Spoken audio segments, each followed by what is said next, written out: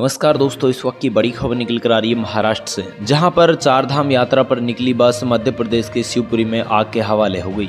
धुआँ देखकर ड्राइवर ने गाड़ी रोकी तुरंत सभी यात्रियों को बाहर निकाला। इस बीच सूचना पर पहुँची कोलारस नगर परिषद की फायर ब्रिगेड ने आग पर काबू पा लिया।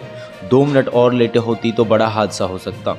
शुक्रवार दोपहर कोलारस थाना क्षेत्र के फॉरलेन हाईवे पर बैरसिया क्रॉसिंग के पास प्रारंभिक पड़ताल में आग का कारण शॉर्ट सर्किट माना है। यहाँ महाराष्ट्र के बुल्ढाना के तीस लोग बस में सवार थे चार धाम यात्रा के लिए निकले। इस बीच यह हादसा हो गया। पुलिस के मुताबिक महाराष्ट्र के बुल्ढाना के 60 लोग बस, दो बसों में सवार होकर 15 मई को चार धाम यात्रा पर निकले।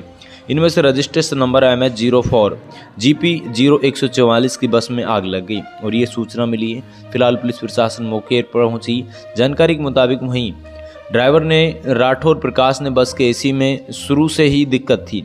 रास्ते में दो बार उसे सुधरवाया गया था। इसके बाद वायरिंग में शॉर्ट सर्किट हो गई और आग लग गई। यह हादसे की सूचना पर पुलिस मौके पर पहुँची। फायर ब्रिगेड की मौजूदगी में आग पर काबू पा लिया। जाँच की जा रही तमाम खबरों के लिए बन रही चैन